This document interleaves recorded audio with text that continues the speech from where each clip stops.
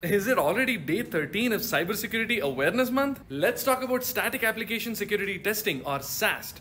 Static analysis is the process of testing the source code of your application for bugs and security vulnerabilities. No one can write perfect code, and any software is bound to have security flaws like buffer overflow, SQL injection, or cross site scripting. SAST can ensure that these vulnerabilities are discovered as early as possible in the software development lifecycle. You can use tools like Bandit, Spotbugs, SemGrep, Node.js Scan, and Brakeman to scan for bugs in source code, generate reports, and developers can use this feedback to fix the vulnerability you can even use CI platforms like Jenkins, GitLab, or GitHub Actions to automate SAST scans before new code is pushed to production. Want to learn how to write secure code or run SAST scans on a real application? Try the hands-on labs on AppSecEngineer.com featuring hundreds of courses and challenges in AppSec, DevSecOps, and more. Check it out now.